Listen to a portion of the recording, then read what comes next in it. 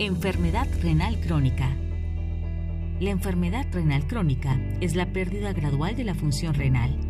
Tus riñones filtran los desechos y el exceso de líquido de la sangre, que luego se expulsan con la orina.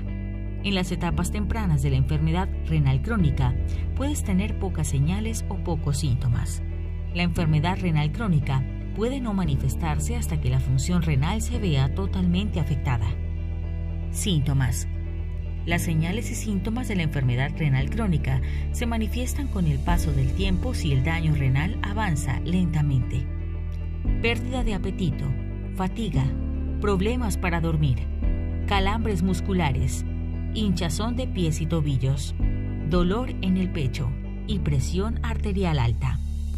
El tratamiento de una enfermedad renal crónica se centra en retrasar el avance del daño renal mediante el control de la causa no diagnosticada.